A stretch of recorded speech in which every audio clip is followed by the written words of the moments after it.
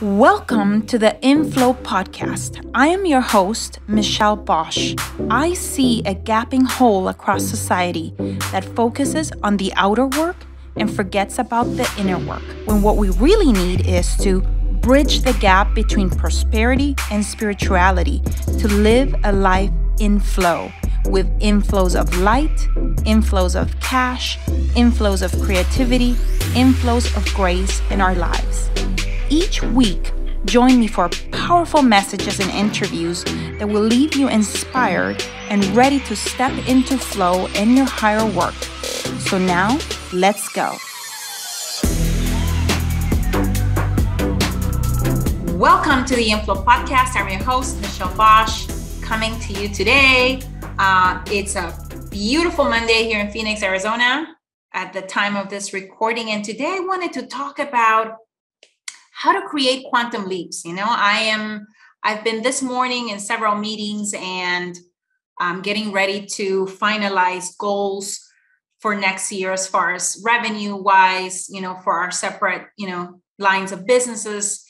And one thing that I want to focus on in 2022 is how to create quantum leaps um, for our teams, how to create quantum leaps when it comes to revenue goals, how to create quantum leaps when it comes to um, investing and cash flow and profits. And um, these are some of the things that I have been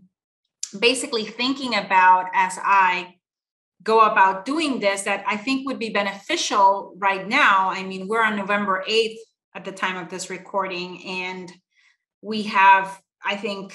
I don't know, five, six or six or seven weeks left of the year. And so it's it's a time after the last 19 or 20 months, you know, that we've had of the world being in chaos and complete uncertainty and um, in having to double down uh, to thrive amid, you know, amongst all the chaos that has been going on. Um, I, I think that there's a lot of people out there that are that have been putting in the work that have been business athletes when it comes to entrepreneurship or investing and that are starting to feel basically the i would say the the stress that comes from being under you know uh, quite a bit of amount of stress over a long long period of time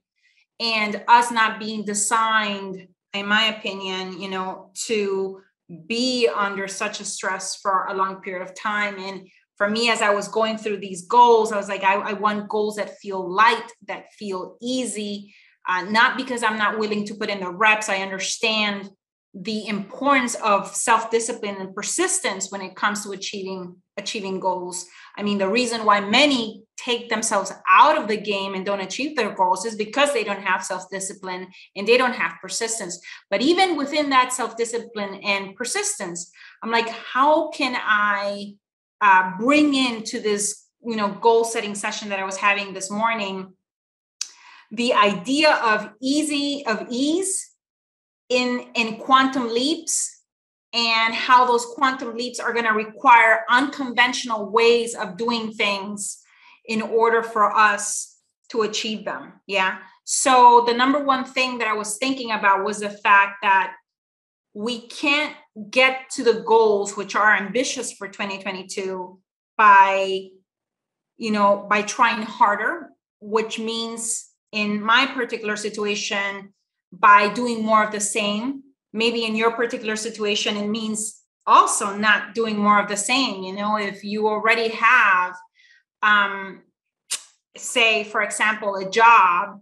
it, it would mean not taking in yet a second job or if you're a freelancer right now not taking more gigs in order to be able to double on your revenue or double on your cash flow or double on your profits but rather how can you do something unconventional and something different that would allow you to not have to double or triple or quadruple on this on the effort so that you're working harder but rather how can you work smarter to perhaps you know get to your goals? And um, and so it, it requires that you follow i think what i'm trying to say is a new pattern of thought and action.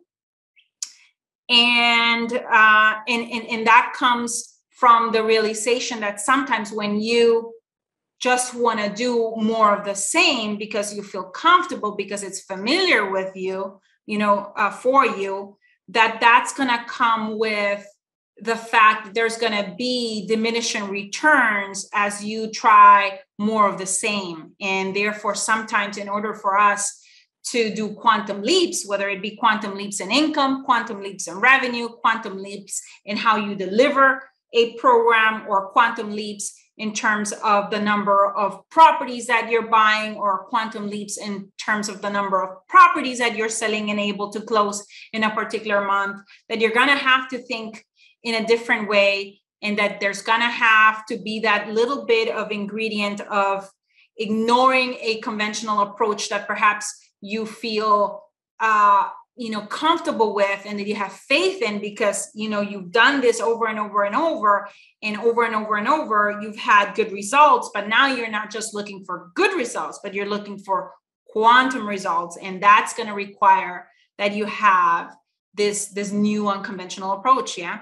So so with that unconventional approach leads me to number 2 to the second thing that you know I've been thinking about which is that an unconventional approach requires that you have an abrupt change in behavior. Maybe it's you know for example in our land flipping business uh, different counties different states different types of buyers um, which require different types of properties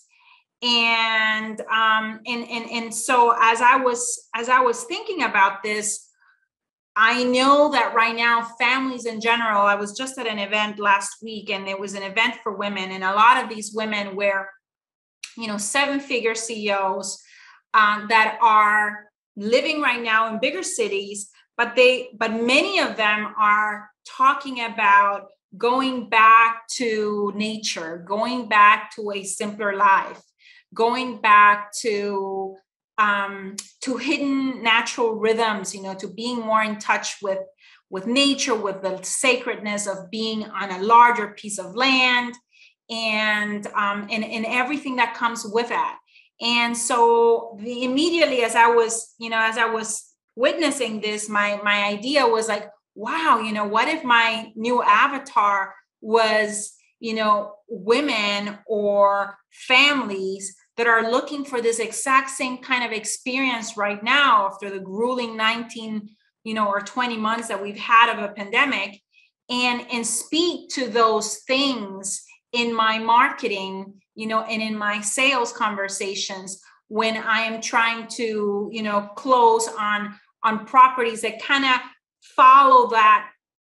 you know that that pro profile of what they're looking for. So so for me you know as, as i was thinking for example for our land flipping business i'm like how can i how can i get there in in one of them one of the situations or one of the you know ideas that i had to do quantum leaps was like why do i not start focusing on a specific state or county that i am familiar with. So there's some familiarity there but looking at higher price properties you know that are anywhere between 5 and 10 and 15 and 20 acres uh, in the outskirts of these cities and you know and uh, within these states that i already know of that have some of the amenities and have some of the characteristics that a family that is going back to nature, that is wanting to have a farm, that is wanting to have some animals, that perhaps wants to have, you know, some horses, that um, wants to enjoy the outdoors, would want to have. And so it requires that I think about, you know, the path of growth properties that we've normally thought of, which are usually meant for a financial investor, um, it requires that I think about them from the point of view of what would a a, a mom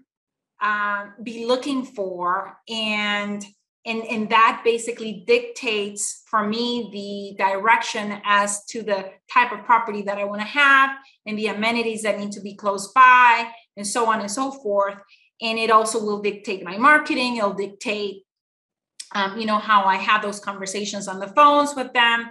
and and, and it's and it's required that i have a little bit of a pattern interrupt like i said because I, I was always thinking of how can I speak in my marketing to a financial investor when I'm looking at properties in the path of growth. And this new avatar that I'm marketing for, yes, they're interested in having in, in it being a good deal. You know, that's what's at the end of the day going to help me sell that parcel faster than anyone else trying to sell similar properties in the area but that I'm going to be speaking a little bit different in my marketing, you know, for that kind of person that is wanting to go back to the land, that is wanting to go back to a simpler life, to being back with what's real, with nature, and, and so on and so forth. So um so so what i'm trying to say is that as you create goals you know and as you go into the new year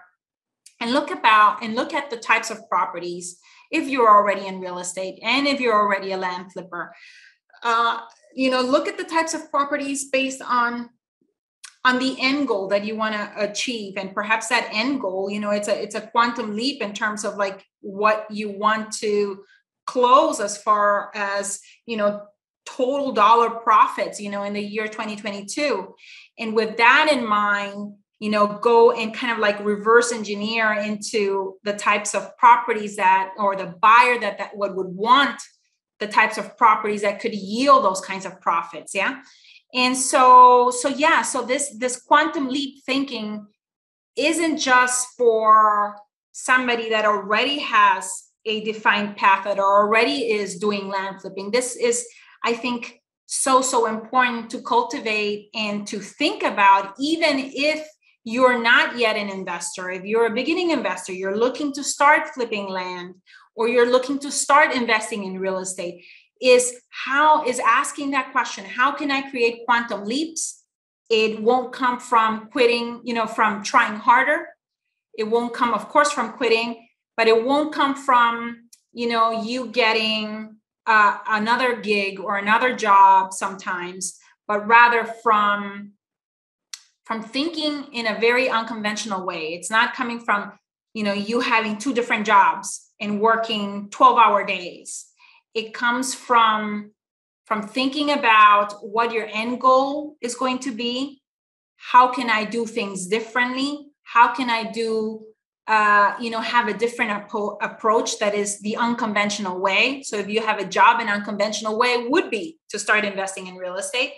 um, if you're already in real estate and you're doing house flipping, maybe the unconventional approach is to try something that doesn't have all the complications that come with houses. Maybe if you're already flipping land, you know, that unconventional approach might come from instead of doing, you know, $3,000 and $5,000 flips, maybe you start looking at 20, 30, 40, $50,000 flips. Maybe instead of looking at infill lots or recreational land that is a little bit further away, you start thinking about how can I deliver perhaps, you know, to the marketplace um, you know, land that is in the path of growth that would allow someone to still, still, you know, be close to town if they needed to for all the amenities that come with a bigger city, but that allows a family to have what I was just talking about and describing earlier that back to nature feeling, that being in touch with the sacredness of a piece of land, the being uh, in touch with, you know, with with just animals in your property and uh, and fun and outdoors activities and so on and so forth so that um, you can appeal to that new type of buyer you know in your marketing in a new way and in in uh, and as a result accomplish your goals. But it requires that you forfeit you know this quantum leap thinking and doing quantum leaps in income or whatever it is that you want to do a quantum leap in not just a incremental shift you know of of you know uh, of doing 20% more or 10% more but really doing you know 100 or 200% more requires that you let go of old beliefs that you let go of old ways of doing you know things and and and, and that you get yourself outside of the box that you've been playing in right now which will require that you make yourself uncomfortable that you um, on purpose and that you kind of like break out of the jail of um, of uh, of having faith in what you know already works and go a little bit into uncharted territory to see if that is um, if that is a viable solution you know if that is a, a viable way to accomplish your goals with more ease uh, easier and doing pretty much uh, more with less when it comes to you know profits or cash flow or revenue whatever it may be that you're trying to quantum leap into you know for a lot of us that are probably listening to this you know to this episode right now or to this podcast um, we're we're talking about financial you know goals but i think it, it doesn't just apply to financial goals. It, it applies to pretty much anything in life. And um, the last thing that i wanted to say is that as you as you think about you know new unconventional approaches uh, the fact that they're unconventional means that they're different. And with that means that not masses of people are doing them. And with that means that you're going to be a pioneer. And with that comes the fact that you're going to uh, perhaps be one of very few people doing things very differently and that that is going to feel a little bit scary because you're not doing what everyone else is doing. And as a result there's no immediate validation outside of yourself of others doing what you're trying to accomplish and uh, in seeing their results and that reinforcing um, you know your decision to go for this unconventional way of doing something yeah? And and that and that that requires then that for a period of time until you test and try new things that and, and have results from those that you suspend this belief it requires that you suspend this belief and i'm going to say that one more time that you suspend this belief for a, a period of time and persist and have this, this self-discipline to to stay on that new lane long enough to see the results because once you you know you pick a new unconventional way that is going to bring you a quantum leap in income or a quantum leap in profits or in cash flow or whatever it may be in that that it it, it will retry it will require that that you you know have the self discipline to see that through. So many people are taken out of the game because they don't have that self discipline and persistence to see something through um you know and like i said because it's unconventional and it's different nobody else is doing it out there. And as a result you don't have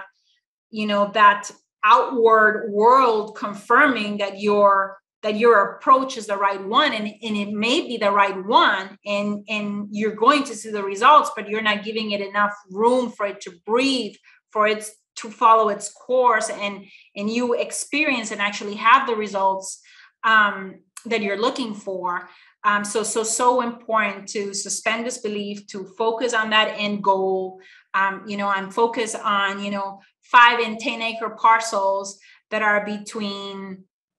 80 and 120 thousand dollars in value that i can you know deliver uh, to these families, to you know well-to-do families with incomes where you know probably the the combined household income is over three hundred thousand um, dollars,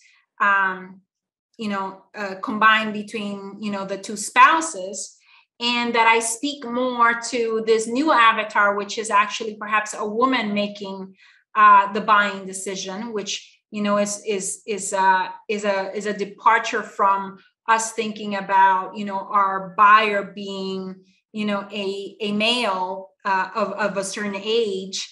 um, looking for just a financial return to somebody that is looking for not just a financial return but also some joy in return as well that the land is going to provide.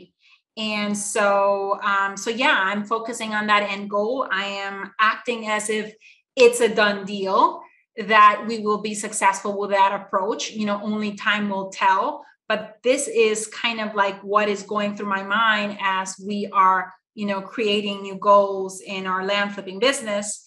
And uh, pretty much across all our businesses as well you know in our education and in our apartment investing as well. I'm i'm, I'm doing the same as well. What can i do uh, or how can i do quantum leaps in a way that is easier where i can do more with less and where i can have basically results that don't require as big as a heavy lift not because I'm not willing to do the reps, but because how can I bring in again more with less, with more ease, with more grace. At the end of the day, you know, the name of this show is inflow because we want not just inflows of money, but we want also inflows of ease, of grace in our life, and um, and, and, and joy, of course. So um, so with that, I hope you've enjoyed today's episode. Um, we have um, actually, as part of our closing for this year, we have one last treat for anyone that is interested in starting to create quantum leaps in income in their land investing business. We do have a one last three day virtual event that our team just decided to uh, still conduct and put together this year for all of you. And if you want to register for that, it, you can go to landflippinglive.com, landflippinglive.com, and um, and register. It's actually happening December 10th, 11th, and 12th. So right before Christmas, right before the holidays, and it would give you, I think, an opportunity to start thinking about how are you going to have quantum leaps in your income if you're already a land flipper or if you are not yet a land flipper how will you create quantum leaps in income? You know having uh, or following a completely different and unconventional approach which is land investing. If you're already doing house flipping or if you're not doing any investing whatsoever this would be something completely different that is not the stock market that is not crypto that is not gold that is not silver that is not uh, you know the traditional type of investing that is out there and that could really turbocharge you know the the results that you would like to see financially for you and your family into 2022 so again that is uh, happening december 10th through the 12th and it's a three day virtual complete immersive uh, intensive from 8 in the morning till 5 p.m. I know there's going to be breaks, you know, because it's being delivered on Zoom uh, by our team. Uh, but we would love to have you there again, landflippinglive.com. And I look forward to being with you in another episode of Inflow. In the meantime, as you're setting goals, as you're enjoying right now the beginning of the holiday season, um, you know, filled with gratitude right now as we get through Thanksgiving. I just want to say quantum leaps are possible. I know I've done it in the past. I'm going back, you know, to thinking of uh, accomplishing in quantum leaps fashion by suspending disbelief, by uh, trying an unconventional approach, and by deciding that I don't want to just try to do what I'm already doing harder, but that I want to do something completely different. Yeah. So uh, thank you so much. And until the next time, bye bye. I hope this episode left you feeling inspired and ready to get inflows of cash, inflows of light, and inflows of faith in your life. I welcome your reviews on iTunes. Please leave me a review and help me create an amazing community of women in flow